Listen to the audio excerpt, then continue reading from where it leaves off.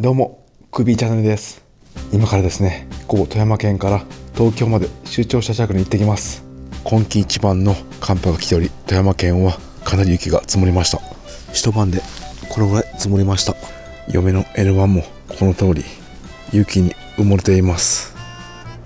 うわ、これはすごいな。もうルーフラックが見えません。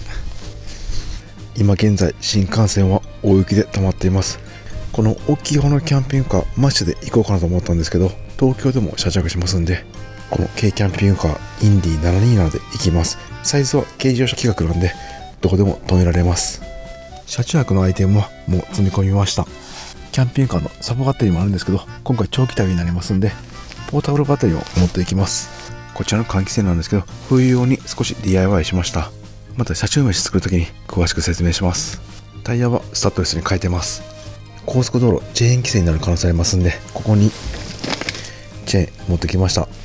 あとはジャンプスターター牽引ロープカッパにフロントウィンドウカバーそしてスタックした時用のダッシュアイテム雪落としとスコップも助手席の足元に置いています。今回の高速道路はかなり危険なので丸2日間かけてゆっくり東京に行きます。東京に行く以外にもう一つミッションもあります。途中行きと帰りで中古のキャンピングカー屋さんも寄ります。家族用防災用のキャンピングカーこちら肉なんですよね。なので4個のキャンピングカー探します。愛着があって手放したくないんですけどこの雪の量なんで致し方ないですね。富山県の隣の新潟と岐阜に中古のキャンピングカー屋さんがあります。なので今回の旅は富山県から新潟東京岐阜そして富山に帰ってきます。ナビで確認すると走行距離1134キロノンストップで11時間11分運転とかなり長期になりそうです。それでは行ってきます。はい。現在2度です。道路上は雪ないんですけど富山県の街はもう一面銀世界です。路面滑りやすくなってますんでゆっくり注意しながら高速道路入ります。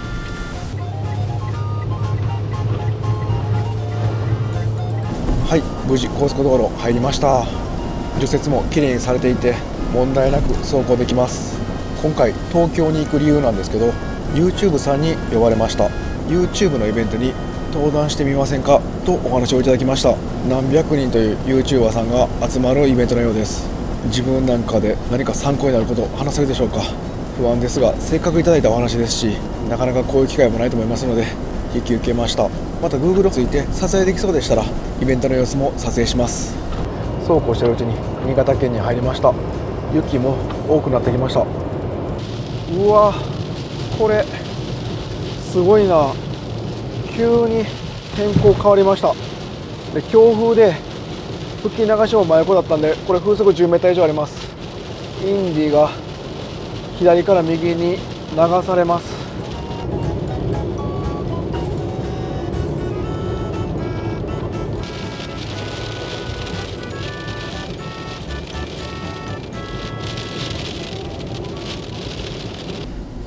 ここですね。いっぱいキャンピングカーあります。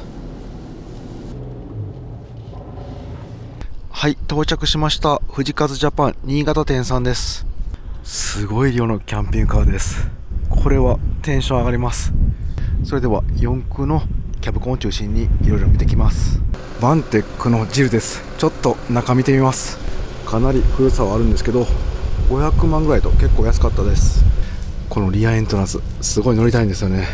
家族で使うにはバッチリの広さですね。ここでホットプレートを置いてご飯食べたりできます。そして冷蔵庫にマルチルームシャワーとトイレがあります。ただこれエアコンがないんですね。これはタウンエースベースのキャブコンアレンですね。343万結構いいんですけどやっぱこれ肉ですね。ナッツ RV のボーダーですね。これねめちゃくちゃいいんですけど肉しかないんですよね。これはバンテックさんのジル520一番最初に見たやつより少し全長長いやつです。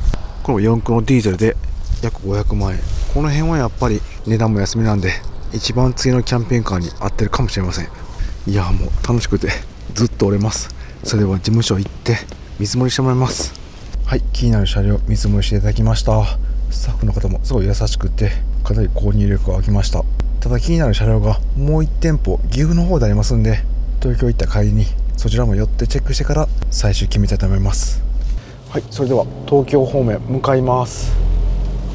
いや藤川さんたくさんキャンピングがあって楽しすぎて時間あっという間に過ぎちゃいました。まもなく日が暮れますんで高速道路入ってから行けるとこまで行ってどこかパーキングエリアかサービスエリアで車中泊します。はい再び高速道路入ります。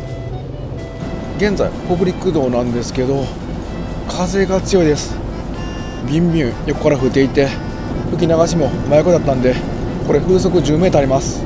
インディが小刻みに横に揺れます。これに雪加わるとちょっと怖そうですね。危険そうだったらパーキングエリアに避難します。北陸道から関越自動車道に入りました。今から峠越えの高速道路になります。うわなんじゃこれ。すごい音です。え？氷が降ってるようなすごい音してます。これ今日ですかね。すごい音です。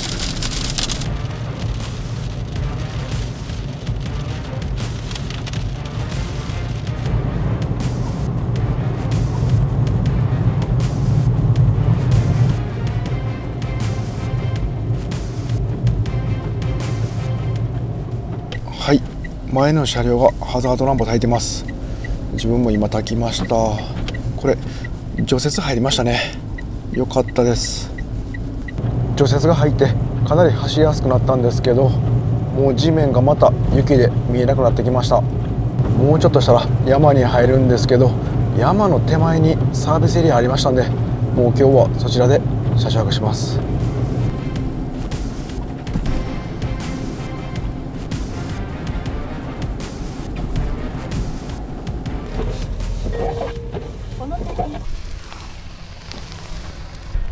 辺りは真っ白です。ちょっと駐車場のラインが見えません。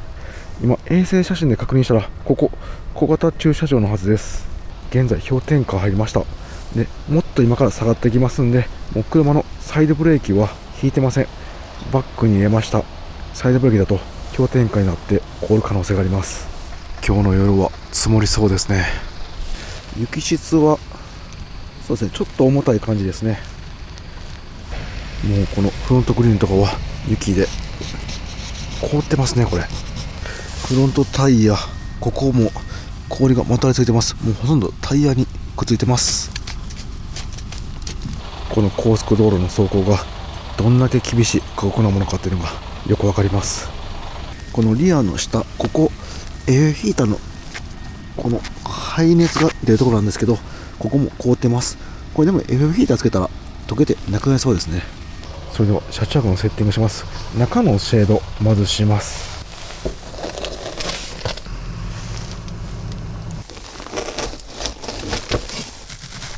フロントのシェードは中ではなくて外側にします。このゴムをサイドミラーにかけます。でこの折り曲がってんのを中に入れます。反対側も入れますはいこれで全面がシェードで終わりました。もう車は全然いません。サービスエリアにはトイレと24時間の自動販売コーナーがあります。そしてお土産屋さんもあったんですけどもうちょうど今閉まるみたいです。トイレ周辺は融雪装置ありますんで雪が溶けています。でもこの溶けてないとこはやっぱりかなり積もってますね。それでは車内で温まります。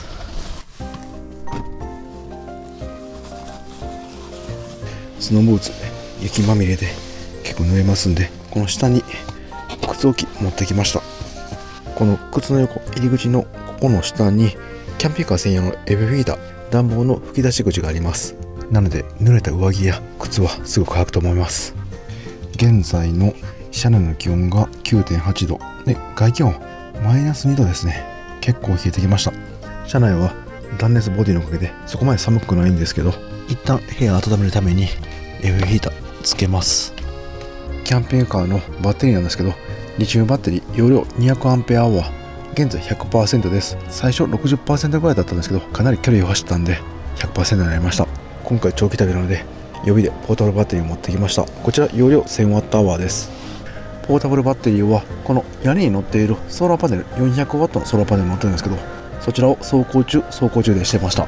ここのレバーの切り替えこれでソーラーパネルの充電をサブバッテリーにするかポータブルバッテリーにするか自分で選んでます。でこちらももう99%になりました。ポータブルバッテリーも最初は560%だったんですけどソーラーパネルだけで満充電になりました。今日は雪が降っていてソーラーパネルあまり発電しないかなと思ってたんですけどマックスで 200W ぐらいは充電されてましたさすがに明日の朝は屋根に雪が積もっていると思いますのでもう発電しないと思います。また太平洋側東京とか行ったらですね雪が溶けてバンバン発電してくれると思います。そしてこのシンクの下に清水タンクがあるんですけどここからお水出ます。今回は満タンにしてきました。それと別に飲み水はこのナルゲンボトルにきれいなお水入れてきました。この清水タンクは今回5日間使いますんで水が持つのか不安になると結構長期になりますんでそんなに綺麗じゃないと思います。なので洗い物や歯磨き程度に使います。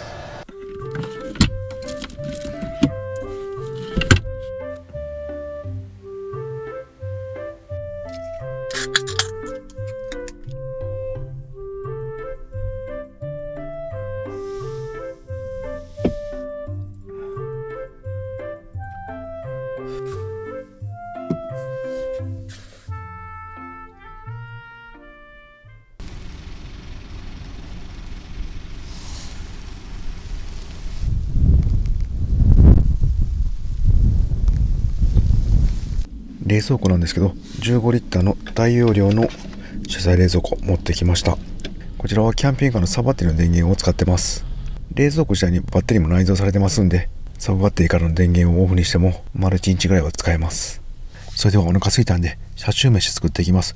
来る前にコンビニでたくさん保存のできるものを買ってきました。この中に入れています。コンビニで購入した焼きそばの袋麺そして千切りキャベツそれと卵これでインスタント焼きそばの広島風お好み焼き作ります。車内でフライパン使います。この自作の換気扇回していきます。新たに DIY しました。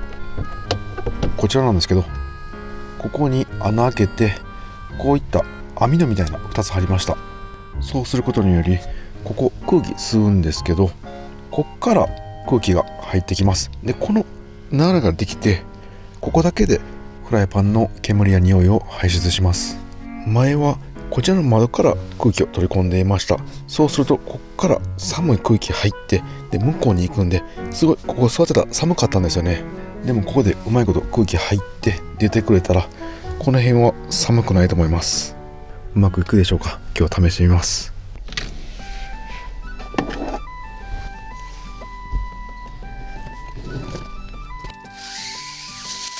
Yeah.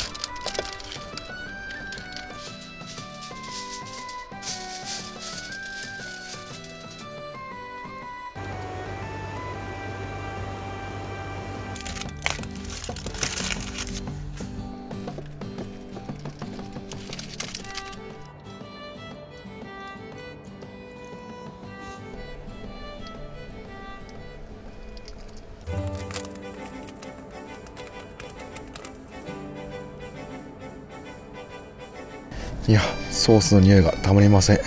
それではいただきます。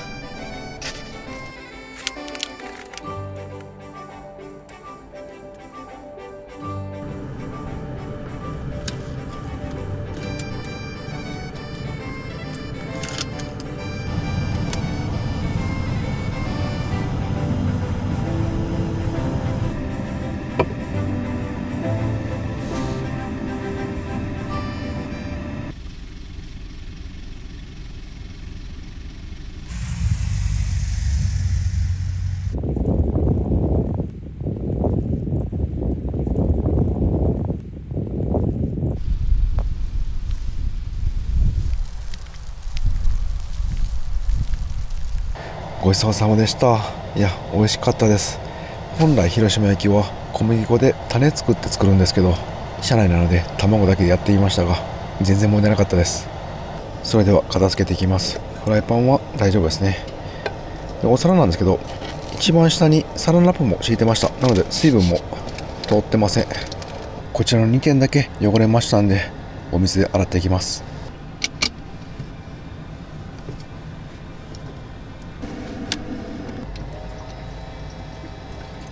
排水タンクにはピューラックス入れておきます。これ赤ちゃんの哺乳瓶などに使う消毒液なんですけどこれで排水タンクの匂いはしなくなります。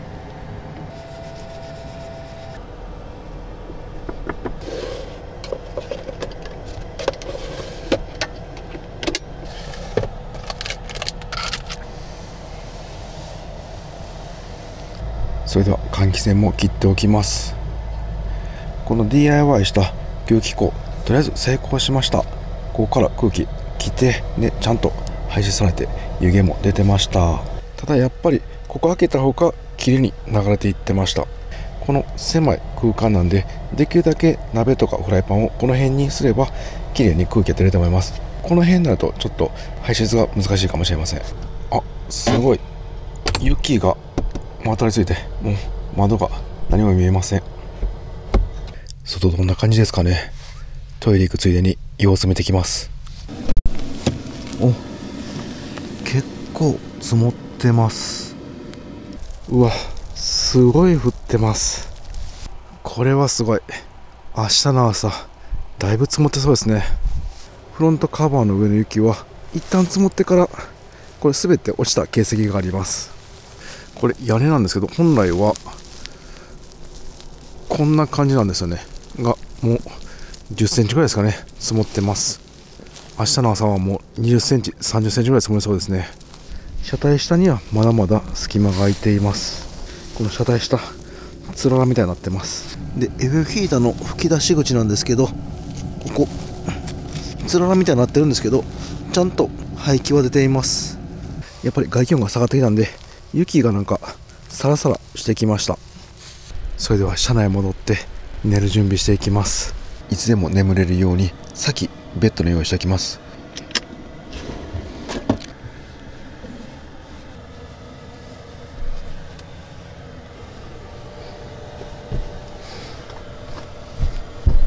上半身側だけ横に20センチほど延長しました。パジャマはクッションの中に入れてます。こちらフリース素材です。そしてこのマットの下にシュラフ持ってきました。で今回はナンガの封筒型のシュラフです。これコンパクトであったかいので軽キャンピングには重宝してます。じゃあここの空いたスペースにはズボンなど着替えた服置いときます。このシュラフはダウンシュラフなんで完全に元通り広がるまで時間かかるんで先伸ばしておきます。歯磨きも先に済ましておきます。こちら歯磨きセットで。一応使い捨ての歯磨きと通常の歯磨きと歯磨き粉こちらキャンピングカーに常に置いています。最近新しいキャンピングカーを探してて思うんですけど理想のキャンピングカー見つけるのは本当に難しい。人それぞれなので外装が好きでも内装が好みでない。常設ベッドとトイレシャワー全部入れるととても大きいキャンピングカーになる。3代目のキャンピングカー購入を真剣に考えてキャンピングカーって本当に奥が深くて難しいなと思いました。一人で使うだけなら軽キャンピングカーでも十分なんですよね。軽キャンピングカーで旅に出ると毎回ワクワクします。どの道でも進める。どこでも寝られる。子供の頃航空会に行った時ここの先はどうなってるんやろって小さい冒険をしたあの時の感覚と全く同じなんですよね。だから楽しいのかもしれません。明日も初めての場所で車中泊したいと思います。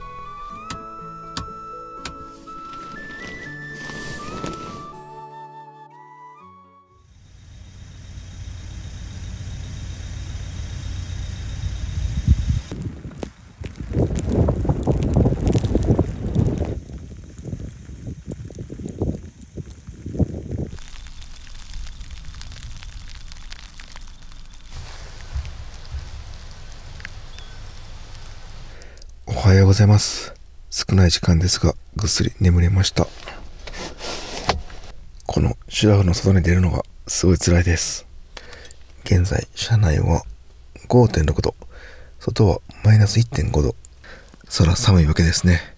このアクリル二重窓の外が凍ってます。では早速 F ヒーターつけていきます。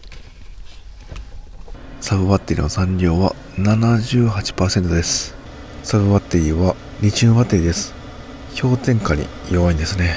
放電使うのはできるんですけど充電するとバッテリーを痛めて著しく寿命を縮めてしまいます。車内が5度なんで大丈夫と思うんですけど一応 F ヒーターで温めてからソーラーパネルからの充電や走行充電をします。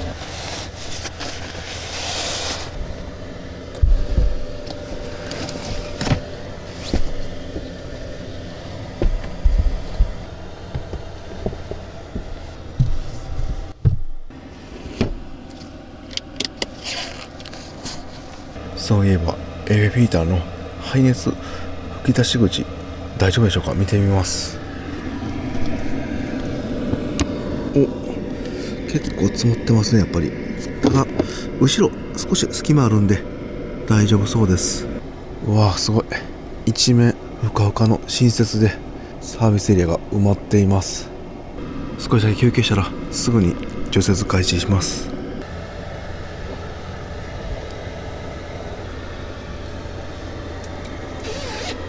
さあまずは外に出て車についている雪を落としてで周りの雪も取って脱出できるようにします。おこれ何センチぐらいでしょうか？もう手はすっぽり埋まってます。30センチぐらい積もってそうです。タイヤももう半分ぐらい埋まっています。まずはブラシで雪を落としていきます。このボディもカチカチに凍ってます。エブヒーターの下は大丈夫ですね。この辺もつららで凍ってますが排気はちゃんと出ています。これリアのボックスなんですけどこんなに積もってました。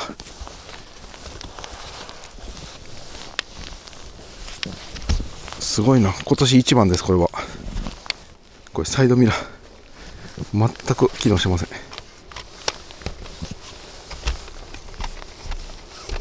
このフロントウィンドウはカバーかけていたんで大丈夫ですね、うん、出発する直前にこちら取ります。この小さい台を置いたら雪の高さと同じになっちゃいましたおおすごい量ですねこれは。伸ばして。は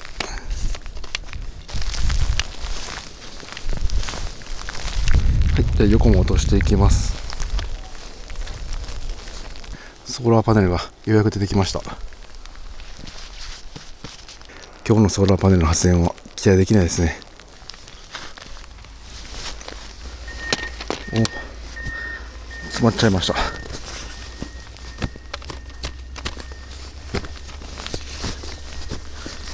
これで大丈夫ですね。で4区なんでこのぐらいの雪大丈夫だと思いますけど一応前も結構積もってるんでスコップで前の雪抜けてきます。今日はアルミのこのコンパクトになるスコップ持ってきました。かなりの量ですね。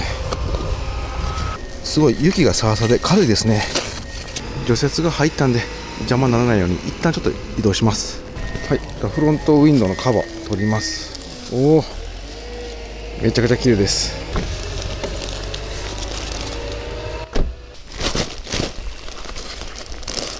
ワイパーも大丈夫ですね。あこのやっぱシェードのところは少し削れています。はいじゃあエンジンつけて温めておきます。はいじゃあ4分して動かします。一旦横に移動します。はい問題なく移動完了しましたさすが4区の軽トラですね。雪道は強いです。まだ窓が曇ってますんで霜取りしながら中で少しだけ休憩します。あったかいコーヒーだけ飲んですぐに出発しようかと思ったんですけどなんかお腹空いてきちゃいました。やっぱり運動したからですかね。冷蔵庫にコンビニで買ったこの赤ウインナーと卵ありますんでこちらフライパンでサクッと焼いて朝ごはんにします。霜取りのためエンジンつけてたんですけどもう一旦止めました。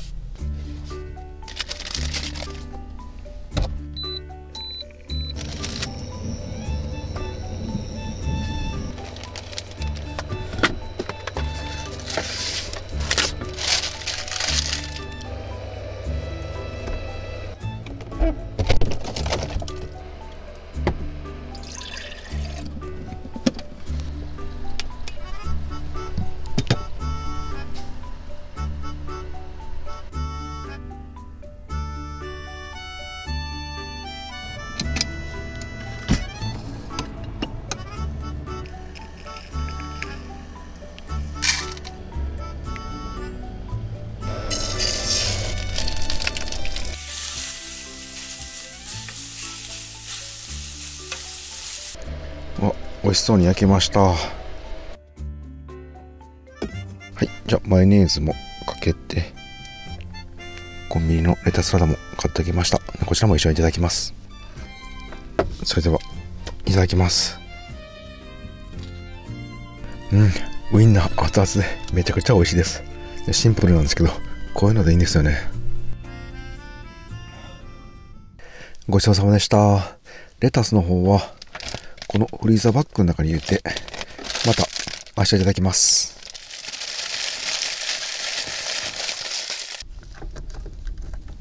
このヘラとフライパンは、このアルコールウェット紙で入念に拭いていきます。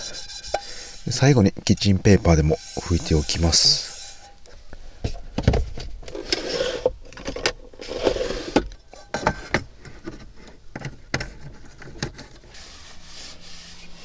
今外雪降ってる状態なんですけどソーラーパネル400ワット装備してるんですけどここから何ワット入力されるんでしょうか？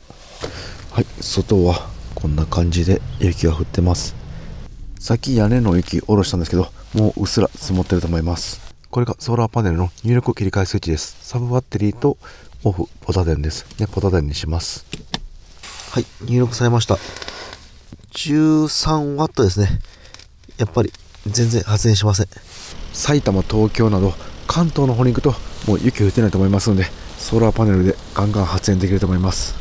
さあこの後後半は都会での車中泊が中心になると思います。どんな車中泊になるのか楽しみです。あもう一瞬でミラーが見えなくなってしまいました。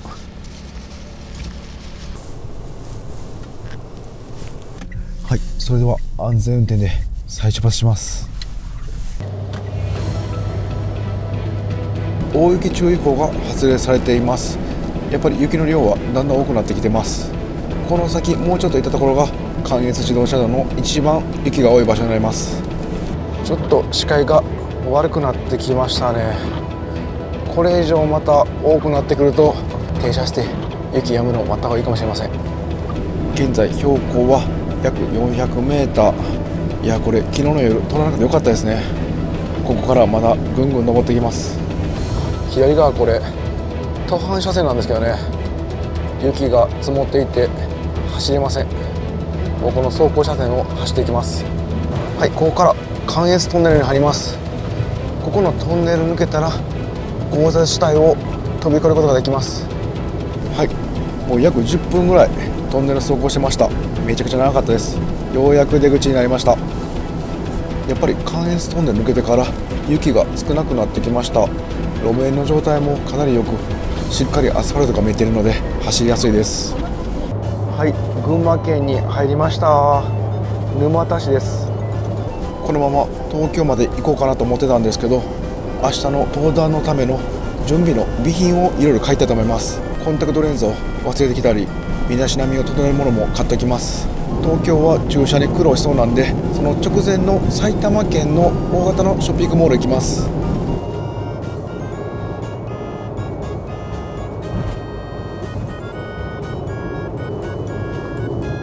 はいちょうど大型のショッピングモールありました。埼玉県の上尾市に来ました。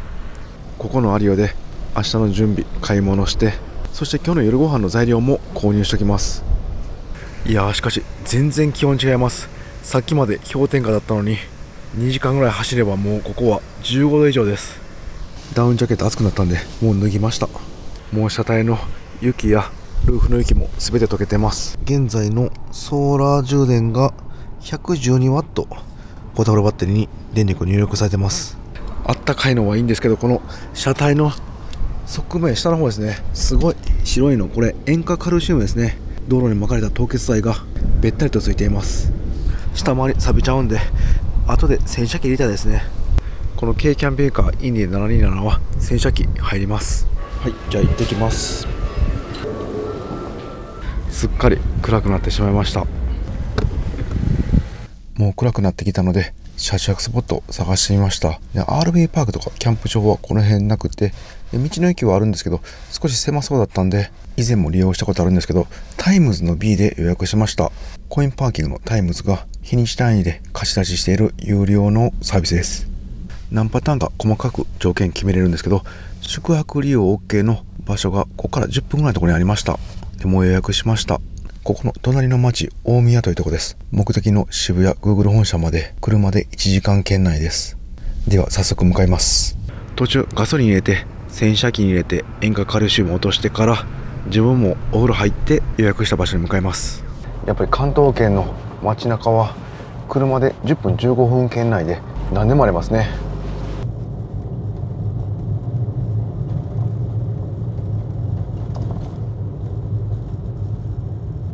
さあマップではここなんですけどね。合ってるんでしょうか？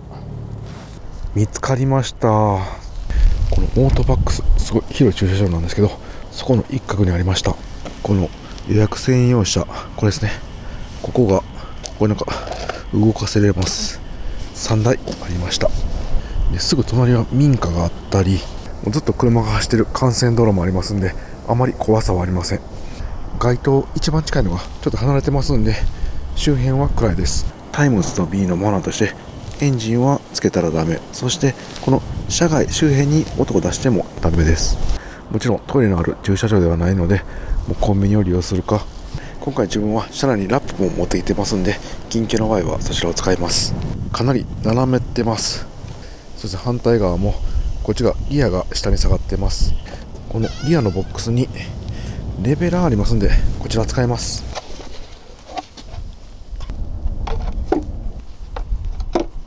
でこれでちょっとバックしてみますはい結構いい感じじゃないでしょうか。右側のリアが一番上まで乗っています。左側は真ん中ぐらいです。それではこれで車中泊のセッティングしていきます。今日はもう中の簡易フロントシェードでいきます。現在車内の温度が7.5度。外気温は3.1度です。では早速エビューヒーターつけていきます。今日なんですけど有料の駐車場でもう移動することがないんでポップアップ上げたいんですけど住宅街で目立つっていうのもありますんで今回秘密兵器持ってきました。こちらです。この短い突っ張り棒でちょい上げします。はいじゃあまずはこのゴムを外していきます。この野球のボールはポップアップのこのテント生地が垂れてくるのを防止するために詰めてました。ここのベルトのロックも解除します。そして空気を取り込む窓を開けてはいこんな感じで完成しました。もう普段もっと上がるんですけどそれの5分の1ぐらいの高さです。短めの突っ張り棒で2本で支えています。ちょっと生地がねこんな感じでたるんじゃうんで見栄えがあんまり良くないんですけどまたこれは対策を考えたいと思います。本来はこの高さですね。これ突っ張り棒の高さです。ポップアップの。こんだけ上がります。これ普段が高さ 1m 98センチぐらいなんでもうこれプラス20センチぐらいなんで2 m 2 3 0センチ高さあると思います。座ったらやっぱり頭がスレスレなんですけどもうこれは手を軽く伸ばしてもいけるぐらいなんで結構この2 3 0センチで開放感は変わります。今回200名の車中泊はポップアップちょいシステムを初めて試します。強度は結構ありますんで風で落ちることはないと思います。また明日の朝どうなってるかチェックします。なんですけどノンアルコールビール持ってきてるんですけど今日ちょっとどうしても飲みたくてでここ有料なんでちょっとぐらいならいいかなと思ってこのちょいビール買いました。明日の朝このアルコールチェッカーこちらで分かりますんで出発前にチェックします。チビール1本だけいきます。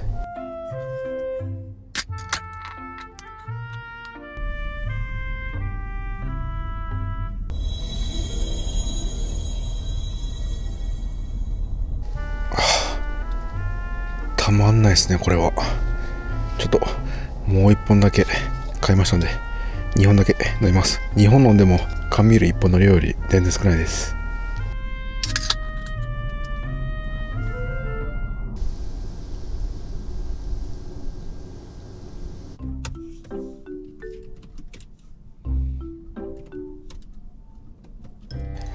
はい。ちょっと晩ご飯食べようと思ってお肉とか買ってたんですけどもう深夜の2時35分です。明日の準備やらなんやでかなり時間がかかってしまいました。もうさすがに今からご飯食べる気しないんで今回の旅のどこかでお肉は食べます。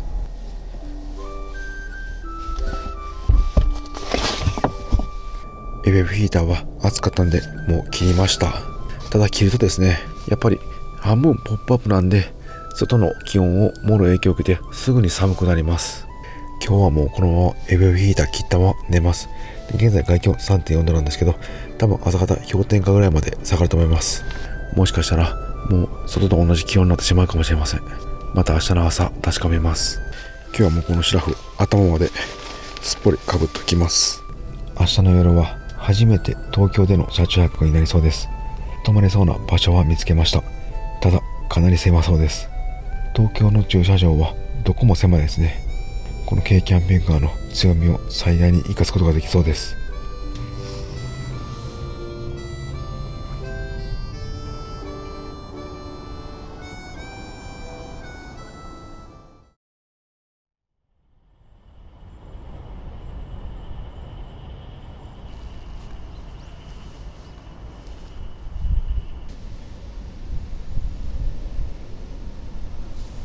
はようございます。夜は風まあまあ吹いていたんですけどポップアップ大丈夫です。現在車内が15.2度外が14度と日が昇ると結構あったかいです。で最低気温なんですけど昨日氷点下マイナス0.4度まで下がってます。でその時中は4.5度なんでポップアップ上げていたので中も外気温と同じ氷点下入るかなと思ったんですけど大丈夫でしたね。一応断熱効果は保ってるようです。それではもう出発の準備していきます。シラフなんですけどもうこのケース入れずにある程度空気抜いてでもここに入れておきます。また今日の夜もこれですぐ出せます。朝ごはん食べたいんですけどもう先現地行っときます。ちょっとコインパーキングとかね、止めれるかわかんないんで、先駐車場確保して、時間があったら冷蔵庫の食材で何か作っていただきます。はい、じゃあアルコールチェッカーしておきます。はい、出ました。大丈夫ですね。ゼロです。身だしなみなんですけど、Amazon でこの超コンパクトなヒゲ剃り買いました。これ、めちゃくちゃちっちゃいですよね。ここを押すと、これでヒゲ剃れます。はい、しっかり剃れました。こんなにコンパクトなのにすごいですね。で、これ USB-C なんで、結構、ヒゲ剃りってバッテリー AC コンセントとして大きいんですよね。でもこれならかなりコンパクトです。いざという時に、もう軽キャンに積んどいてもいいかもしれません。それではこのポップアップも下げます。じゃあ落ちてこないように、この柔らかい野球ボール詰めておきます。このレベラーって結構大きいんですけどこれはちっちゃくてこの K にはちょうどいいです。このまま東京渋谷まで約1時間から1時間半ぐらいです。かなり車混んでると思いますので慎重に運転します。はいタイムズの B さんありがとうございました。はいヤシタ号入ります。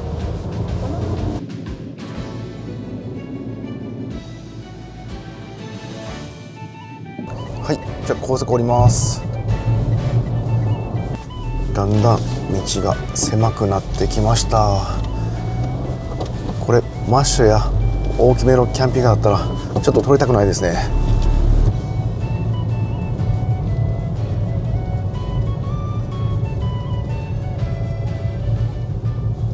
おかなり狭い。ちょっとここにコインパーキングがあるんで入ってみます。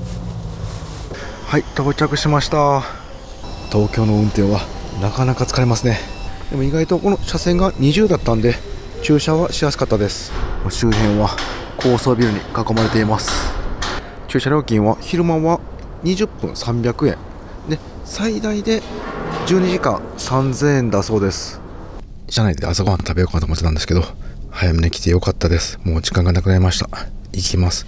ここまっすぐ行ったら渋谷駅があってすぐ横の渋谷ストリームというところに Google がありますマリオカートを走ってます。歩くだけで楽しいですね。ありました。このビルです。上に Google って書いています。はい到着しました。今回の旅の最大の目的 Google 渋谷オフィスです。はいリハーサル終わりました。じゃあ頑張っていきますはい、クーピーチャンネルさん、スモークリ、えー、漁師のマサルさん、そして大工の庄屋の船井さんです。では、三方お願いいたします。ちなみにクーピーさん、今日も雪でしたか？わはい、あの富山県から車中泊して今日も来ました。あ、ありがとうございます。があの、はい終わりましたオフラインでご参加いただき本当にありがとうございましたはい終わりましたそれではコインパーキングに戻ります大事なミッションが終わりました東京は人が多くて富山県の自分の住んでいる地域の5年分ぐらいの人を見ました。気温も日本海側と太平洋側で10度ぐらい違いました。やっぱり北陸は寒いんですね。今からまた富山県へ帰ります。途中岐阜県にある中古キャンピング屋さんに寄って帰ります。とりあえず今日はもうこの辺で車中泊して明日出発します。都会での車中泊楽しみです。それでは生産して出発します。